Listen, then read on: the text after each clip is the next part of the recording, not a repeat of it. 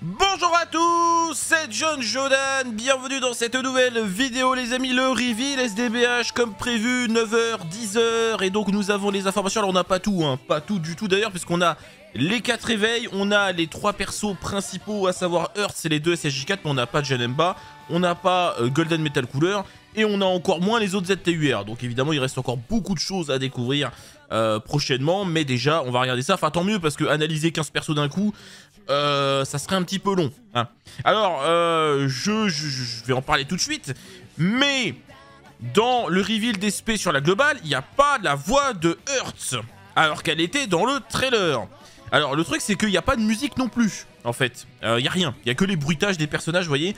Mais il n'y a pas de musique, et du coup, il n'y a pas la voix de Hertz. S'il n'y a pas la voix de Hertz, in fine, je vais péter un câble. Hein.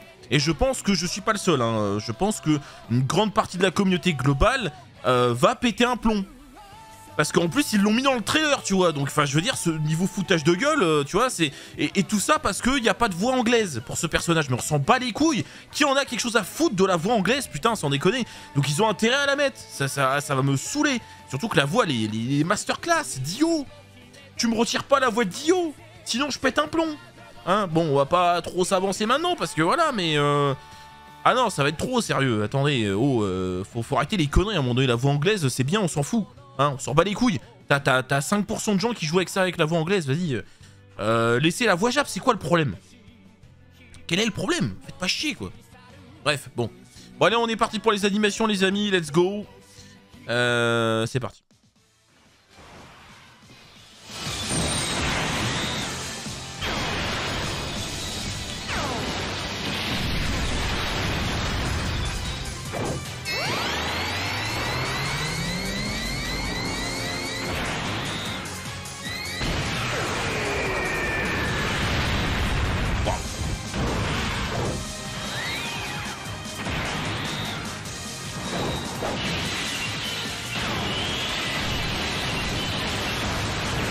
哈哈哈哈哈就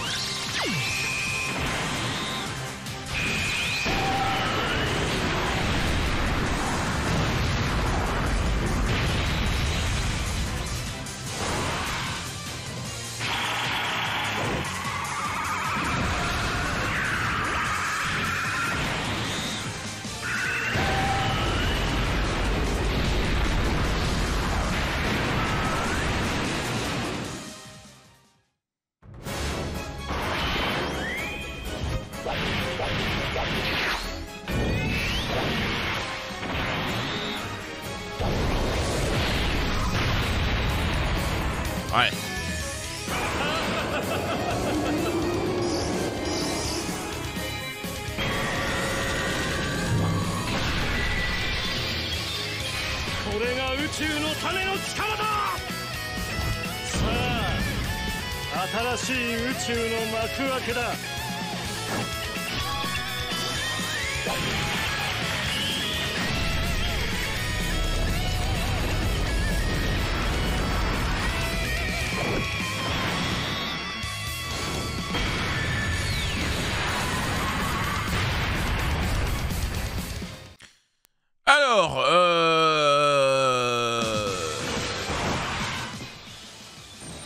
C'est pas bien dingue quand même, hein, tout ça. Hein. On va être très honnête, les amis. Bon, après, euh, euh, disons que...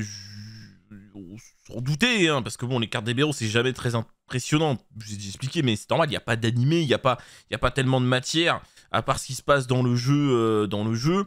mais néanmoins, récemment, il y a quand même les épisodes promotionnels, et j'ai l'impression qu'ils veulent pas les utiliser, les épisodes promotionnels.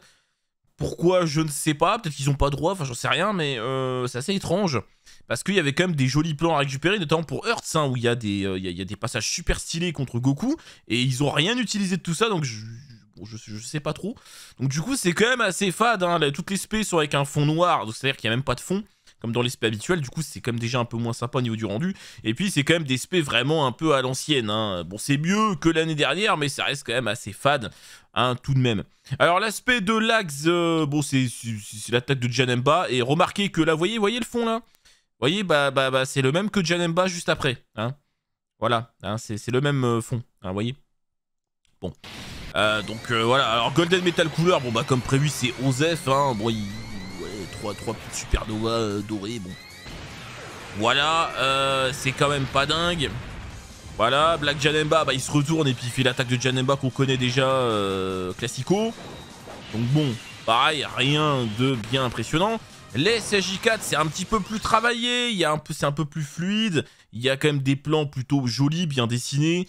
Donc ça va, après le rayon de ki reste tristement basique, hein. voilà, c'est vraiment un rayon de ki sans trop de travail, hein. ça reste quand même pas dingue. Et l'explosion qui est bleue alors que l'attaque est verte, ouais, c'est un peu con quand même, hein, mais ouais. Euh, pour Goku, bon, c'est... Voilà, pareil, le début est stylé, il y a des jolis plans, mais derrière, le Kamehameha, pareil, est tristement basique, hein, il n'y a, aucun travail dessus. Euh, et puis après, bon, ça, ça, part comme ça, euh, pourquoi pas. C'est un peu plus joli que Vegeta, ça étant dit. Hein. Euh, je préfère que ça parte comme ça, avec un petit effet en spirale, qu'une explosion bleue alors que l'attaque est verte. Et donc, concernant Earth, bah, la première spé est quand même pas terrible, hein. euh. Enfin, encore une fois, comparé à ce qu'il y avait dans les épisodes euh, promotionnels, c'est quand même pas dingue, hein. il a ses carrés aux mains et puis, euh, il donne un coup avec quoi, bon. C'est pas fou. Euh, là, c'est quand même assez cool, surtout s'il y a la voix, n'est-ce pas? Voilà, c'est quand même pas mal. Bon, après, vers la fin, il bouge plus les lèvres quand il parle, mais bon. Ça rend quand même plutôt bien. Voilà, là, heureusement, il bouge les lèvres quand même. Donc c'est sympathique. C'est sympathique, et puis une fois là, bah, et puis l'aspect une fois euh, transformé, Bon, ça reste pas exceptionnel, hein, ça reste quand même assez statique et tout, hein, c'est vraiment des, des un peu à l'ancienne. Hein. Mais euh, bon, ça fait le job, ça fait le job, ça fait le job, ça va. Mais bon, je comprends pas qu'ils utilisent pas les épisodes promotionnels, quoi. À moins qu'ils aient pas le droit, j'en sais rien, mais bon, ça m'étonnerait quand même. Non, ils ont, ils ont les droits. Bref, donc en somme les amis, bon c'est pas bien ouf, le, mieux reste les SJ4 hein, clairement, et c'est pas juste parce que j'adore les SJ4, vraiment, techniquement parlant, les SJ4 c'est ce qu'il y a de mieux parce que les SJ4 il y a quand même des gros plans sur les personnages qui sont bien dessinés, alors que les autres on voit les personnages en petit tu vois. Il n'y a pas de gros plan, à part dans la S par exemple ici, mais il n'y a pas de gros plan, tout est vu de loin comme avant, comme à l'époque quoi, où tu vois les assets des persos limite. Là, là sur les SJ4 il y a quand même des gros plans qui sont assez jolis, donc euh, bon. Bref, donc euh, c'est mieux, mais ça reste pas dingue. Hein. J'aurais espéré un peu mieux, surtout avec Earth. Et puis le Ryuken, bah, c'est dans mon. Hein, voilà. Ah, donc euh, c'est un petit peu dommage. Bon, on est parti pour les traductions, les amis. Merci à Koek a épinglé les, euh, les posts Facebook sur Twitter. hein. Merci à lui. euh, comme ça, ça m'a bah, ça m'a vite d'aller les chercher, tout simplement. Et on commence avec Goku SJ4 Full Power. Enfin, non, enfin, alors, le vrai nom, c'est Sub. Alors, c'est c'est Cho Full Power. Ils mettent comment en français? Euh, Super Saiyan 4 Ultra Puissance Max limite euh, brisée. Ouais. Donc en gros, le, le nom japonais c'est Cho Full Power Saiyajin 4. Saiyajin 4. Euh, Genkai Topa limite brisée. Enfin bref.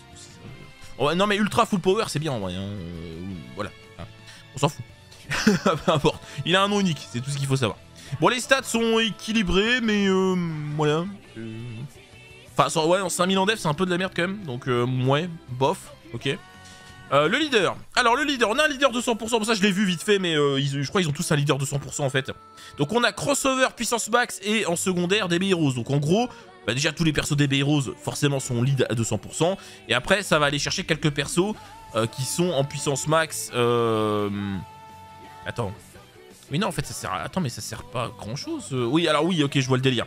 C'est-à-dire qu'en fait, si vous voulez, en gros, parce qu'en fait, dans Crossover, il y a tous les persos des Heroes, parce que par définition, Dragon Ball Heroes, c'est un crossover. Donc il y a tous les persos des Heroes dans crossover. En revanche, le fait de mettre puissance max, ça permet de ram- ramener des persos comme Goku et SJ4 Tech, qui va venir se link avec ce personnage. Donc, euh, ok, euh, pourquoi pas, euh, mais bon, dans tous les cas, au moins, on a un lead des Heroes de 100%, c'est ce qu'on attendait. Et j'imagine que les autres vont l'être aussi, donc du coup, tu drops un des personnages et t'as ton petit lead à 200. Donc c'est quand même assez cool. On est parti. Alors, euh, le leader ok, le passif qui plus 3, attaque def 180%, attaque def 60% plus pendant l'attaque spéciale, ça se multiplie. Tous les attaquants du tour sont de classe super et de catégorie puissance max ou DB Heroes. Ah, j'ai- j'aime pas ces trucs là qui limitent le personnage. hein. Parce que là, déjà, euh, par exemple, si je pars dans une team euh, avec, des SSJ4, bah ils seront pas forcément tous euh, puissance max ou DB Heroes. Attaque plus 80% en plus, dégâts. Ah oui, en plus on a de la réduction quoi, super. Ouais, donc euh, c'est chiant. Le problème c'est que ça va limiter la carte à la, team des Heroes quoi, donc euh, bon. S'il y a parmi les alliés attaquants du tour, un perso le nom comprend Vegeta, euh, défense euh, plus 40% pour tous les alliés de classe super, ok. Bah oui, enfin oui, bah, en fonction de la team oui, mais bon. À partir du tour où ce perso a encaissé cette attaque ou plus lors du combat, d'accord, attaque def 40% en plus, critique garantie. Ouais, c'est quand même pas... Enfin, en fait, non, disons que si on a tous les bonus, c'est pas mal, hein. Euh, bon, on a 180%, on a... Euh... Alors d'ailleurs, le attaque plus 80% en plus, non, c'est début de tour, hein. Euh, normalement, mais bon, du coup, on aurait 260% attaque, voire même, une fois qu'on a encaissé cette attaque, 300. Côté défense, on a 180, potentiellement les 40, potentiellement les autres 40. Plus qu'on a sur l'aspect, en vrai, et après, il faut voir les effets, les effets SP, c'est pas mal, mais si t'as tous les bonus. Mais regardez, si on se met dans un cas où on n'a pas tout ça, là, bah, du coup, on a quoi? On a attaqué def 180, voire aller 220, une fois qu'on a encaissé cette attaque. Mais encaisser cette attaque alors que le perso n'a pas de réduction, je vais moins avoir envie, tu vois. Donc, euh, Bon voilà, et puis après on aurait le attaquer 60 ce qui risque d'être plutôt correct. Mais enfin bon, rappelons quand même que les stats sont assez faibles, hein, donc... Euh... Je veux, voilà, sincèrement, le personnage là, sans doublon et sans les bonus liés au personnage des Heroes dans la rotation, je peux vous dire qu'on va pas monter bien haut, hein, euh, à moins qu'il stack à l'infini, mais ça m'étonnerait quand même. Euh, voilà, augmente l'attaque à la F pendant un tour, donc cool, mais euh, le perso n'a pas d'attaque additionnelle dans le passif, donc c'est pas ça qui va nous sauver drastiquement non plus. Donc disons que le personnage, s'il est joué optimisé, ça va être vraiment pas mal. Entre la réduction, toutes les stats qu'on va avoir, en plus il supporte en termes de def les alliés, ça va être pas mal. Si on, sort de la team et qu'on n'a pas les bonus, euh, ça va être quand même beaucoup plus moyen quand même. Hein, euh. Bon. Au niveau des liens, on a Rasen, Super Sen, guerrier vétéran, par au combat, Kamehameha, Rugissement Sen, combat charné, évidemment pas de GT. Euh, parce que bah en fait c'est pas le GT vraiment puisque c'est le Xeno, enfin bon. Mais bon, on a Rugissement Sen quand même donc ça c'est cool. Et on a combat acharné, donc ça reste quand même sympa. Donc euh, pas mal du tout, pas mal du tout. Après, bon, encore une fois, ouais, on est vraiment limité dans la team hein, des Heroes, hein, sinon... Euh, voilà, après le perso est pas Hero GT, hein, donc dans tous les cas, on pouvait pas le jouer en double CJ4 euh, des 7 ans, hein, ça, ne marche pas. donc, euh, bon. Mais le problème c'est que vous voyez, genre par exemple Kamehameha, bah si je joue Kim Kamehameha, si je joue pas de perso des Heroes et autres, bah... bah voilà, ça va pas être... ça va pas être dingue dingue quoi, franchement, bon. Bref. Euh, ok, bref, donc euh, bon, ça reste quand même cool, mais, euh, mais bon, on va être limité. Vous avez compris. Surtout que les stats sont pas non plus incroyables ici, donc forcément, ça va pas euh, arranger nos affaires. Euh, bon, on a fait le tour du coup, pas d'AS, pas de spé jointe, hein, alors que c'était une évidence à faire, mais enfin bon, euh, faut croire que non. Acte manqué, Vegeta, euh, SCJ4, bon, super full power, machin, t'as compris. les stats, 4700 dev, c'est encore pire, d'accord, ok, bon. J'imagine que le passif va être similaire, hein, ça va être le miroir. Donc le leader, on a Crossover ou Ozaru, euh, puissance Ozaru, donc, et DB Heroes, donc... Voilà, alors ce qui est quand même cool, c'est que là, avec le lead de Vegeta, on peut ramener, bon, on peut ramener Mass SSJ4, ce qui n'est pas le cas avec le lead de Goku. Donc le lead de Vegeta, quand même, là, me paraît quand même un peu plus intéressant, puisqu'on peut ramener les SSJ4. Mais encore une fois, on peut ramener les SSJ4, c'est bien, mais s'ils sont pas DB Heroes, bah, ou puissance max, bah du coup, ouais... Euh, bon, c'est une carte miroir qui plus 3 attaquer def 180, attaquer 60 en plus pendant la sociale. Si tous les alliés attaquants sont super, puissance gorille ou DB Heroes, alors là c'est peut-être un peu mieux quand même parce que puissance gorille au moins, euh, voilà, tu vois, ça marchera. Si on fait une, team full SJ4, du coup, ça va marcher. Puissance de gorille, c'est mieux parce que puissance max pour Goku, c'est pas forcément dingue. On a de la def et. Ah oui, d'accord, ah oui, mais on a plus de réduction. Ah oui, d'accord, ouais. Ah oui, ouais, bah mais attaque supplémentaire garantie, c'est cool. Alors, c'est quand même attaque SP supplémentaire garantie, à mine de rien. Donc euh, bon, double SP garantie, c'est quand même cool, mais bon, plus de réduction. Si parmi les alliés attaquants du tour il y a Goku, et eh bien attaque plus 40% pour tous les alliés, logique. Et à partir du tour où le perso a lancé 5 attaques SP, on a attaque F 40% en plus et attaque assurée de faire mouche, donc pas d'esquive possible, annule la garde. Bon, ok, euh, après, ouais, bon, d'accord. Au niveau des liens, plus ou moins pareil, Génie, les Royal, Rugissement Saiyan, ok. Euh, bon, bah c'est à peu près le même constat, les gars. Le truc, c'est que si les conditions sont toutes réunies, c'est... Ouais, ça va être pas mal du tout. Mais dès qu'on commence à retirer euh, des petites conditions par-ci par-là, euh, ça va devenir quand même pas dingue dingue. Hein.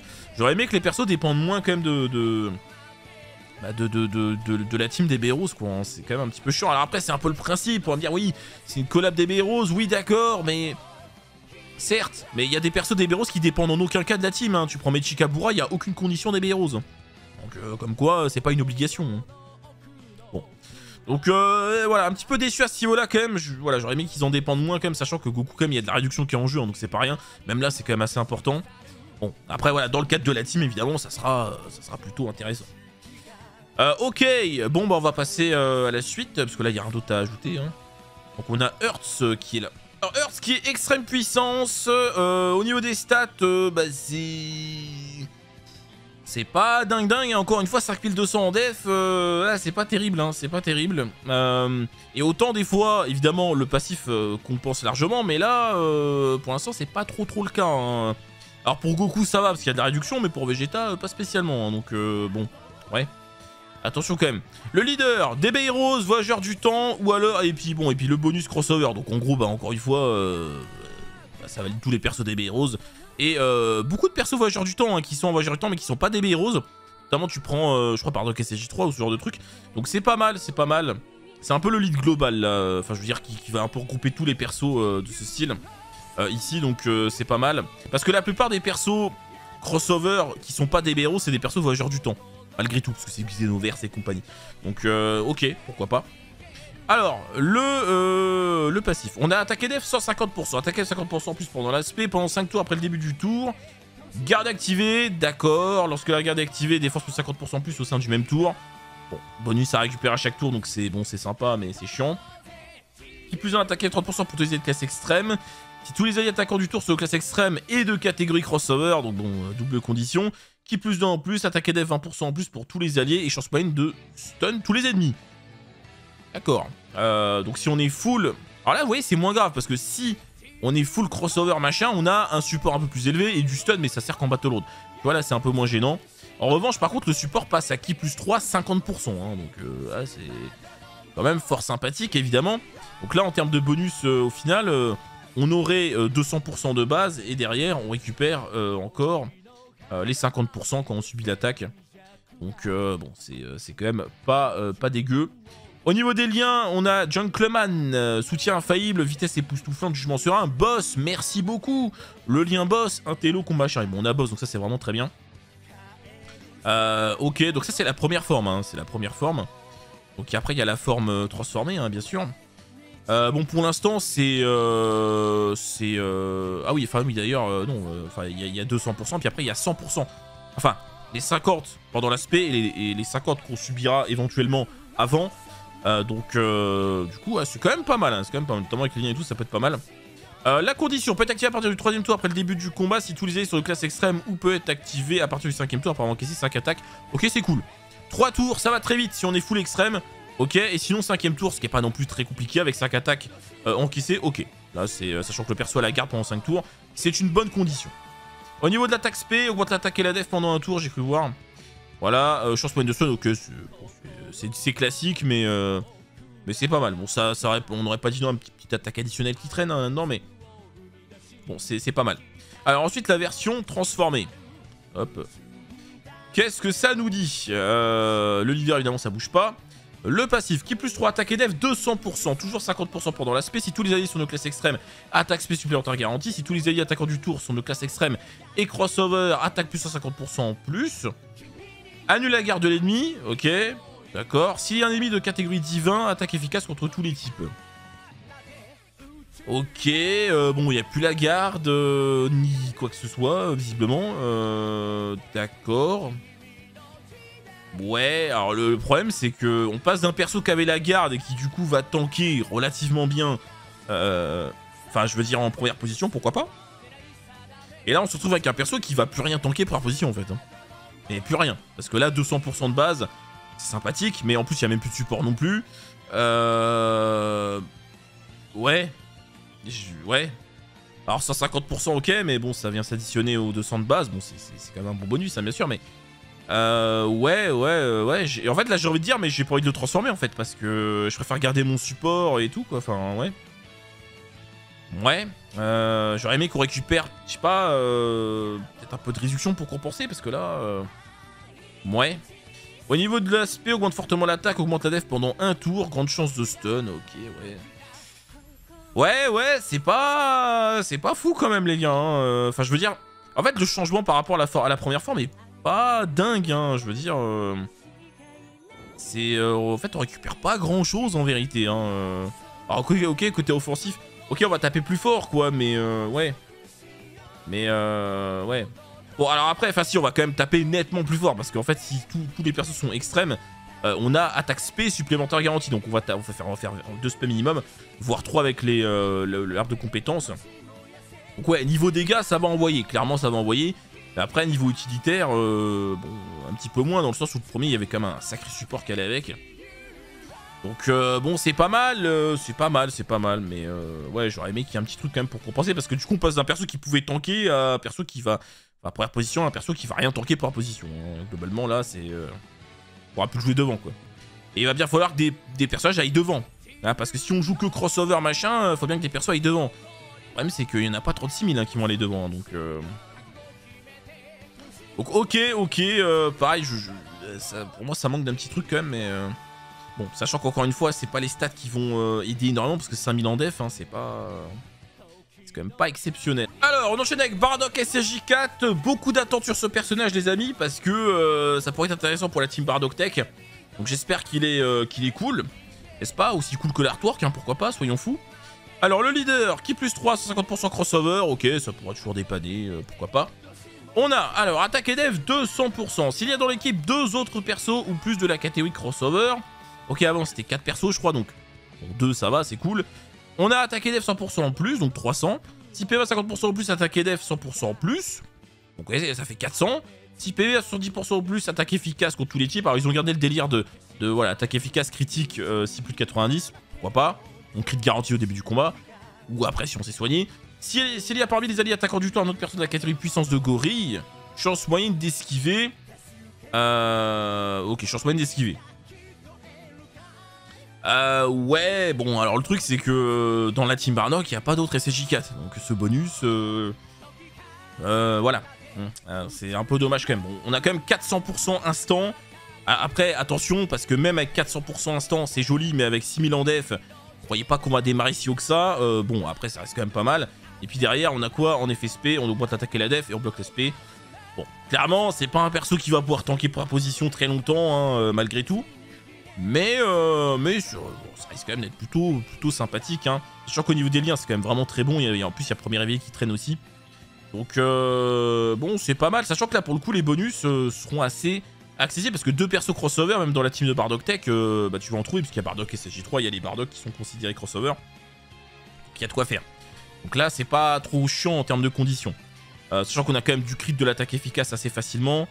Euh, donc c'est pas. On a de l'esquive qui peut traîner éventuellement, mais ça après ça dépend de la team qu'on fait. Donc euh, bon, c'est pas mal, c'est pas mal, c'est pas mal. Pas mal. En SB en bloc SP, ça c'est très appréciable. Donc euh, ok, sympa, simple, simple mais efficace. C'est pas transcendant, mais c'est pas mal. Le Gohan SSJ4, euh, qui est plutôt joli aussi. Alors ils ont mis augmente l'attaque et la def à tout le monde en fait, hein, j'ai l'impression. Bon, c'est mieux que de pas le mettre, mais même si on aurait pu espérer même plus, hein, mais bon, voilà. Euh, puissance de gorille 150%, ok, ça peut toujours dépanner. Attaque et def 200%, s'il y a dans l'équipe deux autres persos, voilà, c'est bien, ils ont réduit la, condition à 2 et non pas à 4. Donc ça c'est bien. Euh, on a une réduction de 50%, défense plus 50%, et en plus c'est grande chance de stun ennemi attaqué lors d'une attaque spéciale. Donc ça, euh, ça fait plaisir, hein, du coup le Gohan qui va prendre 350% def avant l'aspect, enfin, je veux dire avant le bonus de l'aspect. Déjà, plus la réduction de dégâts, autant vous dire que là on va avoir un personnage qui va bien tanker. S'il y a parmi les attaquant du tour un autre perso de catégorie crossover, attaque plus 100% en plus, on récupère jusqu'à 300% attaque. Donc il va pas taper extrêmement fort, mais il va taper quand même un peu, notamment avec les liens qui sont quand même assez cool. Et euh, là, côté tanking, ça va, ça va être intéressant. 50% de réduction plus la def. Euh, euh, franchement, ça va quand même bien se démerder. Et surtout, après, une fois qu'il est attaqué, sachant qu'on a encore 30%, euh, ça va vraiment très bien tanker. Donc ça, c'est bien, ça c'est bien. Gohan, on valide, on valide. Euh, ça c'est pas mal. Certainement le meilleur perso qu'on a vu jusqu'à maintenant, hein, limite. euh, Dans le sens où au moins il peut assurer la première position. Alors après, avant d'avoir attaqué, il va pas pouvoir tanker tout le jeu, mais il va pouvoir tanker déjà pas mal de choses. Euh, très bien, on enchaîne. D'ailleurs, j'ai pas de doublons, hein, Gohan. J'espère a des petits doublons qui vont tomber. Euh, Robelou, bon Robelou, j'avoue que ça m'intéresse moins parce que bon, c'est quand même, euh, voilà, pas, tant de catégories que ça, c'est quand même assez limité quoi, mais bon. Après, ça se trouve, elle est excellente, hein, je ne sais pas. Euh, DBRO 150% qui plus 3, ok. Attaque def 100%, attaque F 100% en plus lors de l'attaque. En attaquant ennemi dont l'attaque SP est bloquée, attaque plus 200% en plus. Alors, ça marchera quand en Battle Road, hein, donc euh, bon, voilà, à, à nuancer. Change à la sphère de ki en ki Rainbow, ça c'est bien. Grande chance d'esquiver, ça c'est bien. S'il n'y a pas mis attaquant du tout un autre perso DB forte chance de prévoir les attaques SP. Ça, c'est quand même sacrément bien. Et à chaque, et chaque- sphère de ki quand c'est obtenu, défense 10% et récupération de 5%. Bah, euh, les, les- les- les- bon, 4 catégories. Voilà, donc en gros c'est DB Heroes ou rien, hein, pour faire simple. Hein. Euh, mais euh, bon, c'est ouais, c'est pas. Alors, perso, évidemment, à part si tu veux compter sur l'esquive, mais bon, pas première position. Mais euh, bon, il y a quand même pas mal de bonus. Création de ki, de l'esquive, potentiellement on voit l'aspect, donc c'est quand même un, notamment un perso, pourquoi pas en troisième position, qui peut être très cool. Voire en deuxième, mais bon, le problème c'est voilà, bon, pour jouer un perso qui marche bien avec, c'est un peu galère. Mais bon, c'est ouais, c'est pas mal du coup. Ça fait quand même un bon petit personnage qui fait pas mal de trucs. Donc c'est pas mal, l'effet SP. Augmente fortement l'attaque et la def. Ok, bloque l'aspect. Ouais, non, franchement, euh, ouais, bah, franchement, c'est pas mal. Franchement, c'est pas mal. Et en SBR, c'est vraiment très très bon parce qu'on a du blocage. Euh, on a du blocage ici. Euh, donc, c'est vraiment très cool. donc, ouais, franchement, pas mal du tout. Pas mal du tout. On a du ki, on a de l'esquive. on peut éventuellement voir l'aspect. potentiellement, on récupère un peu plus de def et tout. Donc, régène. Là, franchement, très cool. Après, c'est juste quoi là en termes de lien c'est c'est un peu galère quoi, mais au pire troisième position et euh, c'est pas mal. Donc ok, pas mal, Robelou, euh, pas mal du tout. Pas mal, bon, ah, pas beaucoup de, de teams, mais euh, pas mal. Après, bon, les stats, pareil, c'est pas... J'ai l'impression qu'ils avaient pas envie de donner de la def à ces personnages, hein, parce qu'il y a des persos non Dokkanfest qui ont une défense un peu plus élevée que ça quand même. Hein. Ah, c'est quand même pas fou, hein. Bon. Alors, la Kaioshin du temps, possédé, lavage de cerveau, machin, en mode non passion, c'est dommage. Euh, crossover, ok, on est parti. Rare chance de stun tous les ennemis. Bon, ils ont laissé, euh, je crois que c'était déjà rare chance avant. Ouais, bon, du coup, rare chance, c'est 15%, il me semble. Qui plus 2, attaque def 100%, attaque F 100% en plus lors de l'attaque spéciale, attaque plus 100% en plus en attaquant un ennemi dont l'attaque est réduite, attaque plus 100% en plus en attaquant un ennemi dont la def est réduite, attaque plus 100% en plus en attaquant ennemi dont l'attaque est bloquée, attaque plus 100% en plus en attaquant un ennemi stun. Bon, voilà. Donc des boosts par rapport à tout ça. Euh, Bon, le truc, c'est qu'encore une fois, euh, tous ces bonus n'ont plus aucun intérêt dès lors qu'on n'est pas en Battle Road, à part pour la def qu'on peut souvent réduire. Donc le truc, c'est que c'est mignon, mais euh, bon, voilà, au-delà du Battle Road, finalement, faut pas compter sur tous ces bonus. Alors par contre, si on peut aller les chercher, alors là, évidemment, le perso va taper comme pas possible. Mais bon, ça restera quand même très limité. Euh, S'il y a parmi les attaquants du tour un autre perso crossover, bloque l'aspect de ligne attaquée pendant deux tours et chance moyenne d'étourdir tous les ennemis pendant un tour. D'accord, donc on a deux fois la possibilité de stun tout le monde. Alors en Battle Road, le perso peut être incroyable. Dès lors qu'on sort du Battle Road, le stun c'est mort, le blocage c'est mort, les bonus c'est mort. Donc hors Battle Road, ce perso est extrêmement osef euh, globalement, mais... attendez quand même, parce qu'on a 100% def sur l'aspect quand même. Hein. On monte énormément la def réduit fortement attaque donc c'est très intéressant encore une fois en Battle Road. Euh, donc quand même, euh, bon, on a 100%, on a encore 100%.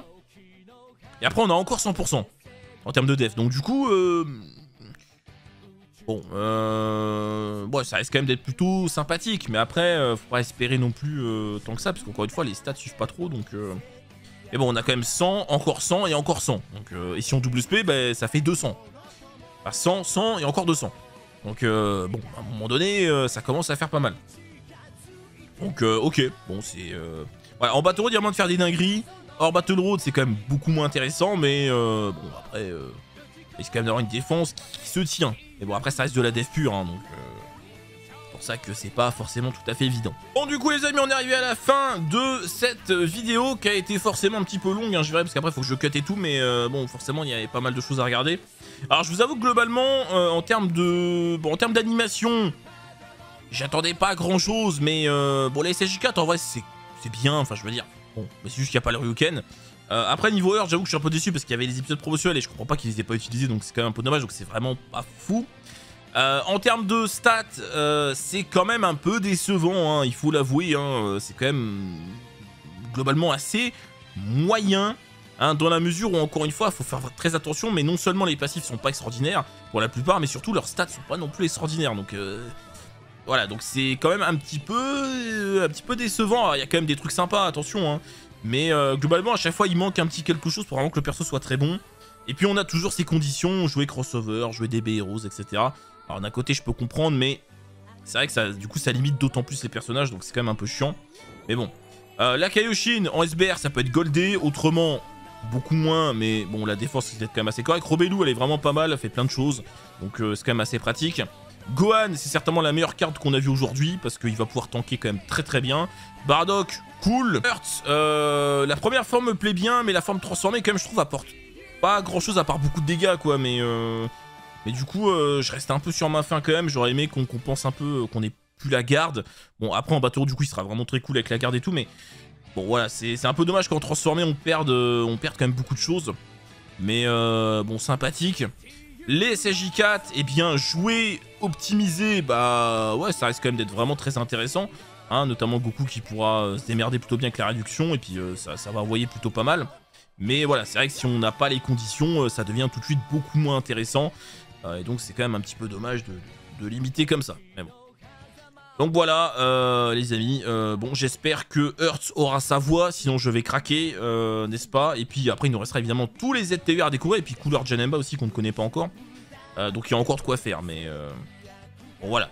Évidemment, on est clairement pas sur des persos broken, mais bon, euh, faut pas que les persos qui sortent soient tous broken. Mais j'avoue que là, c'est quand même un petit peu en deçà de ce que j'aurais pu imaginer, dans la mesure où, encore une fois, il y a beaucoup de conditions. Je vais crossover, je vais DB Rose, et si c'est pas le cas, les persos deviennent vraiment moyens.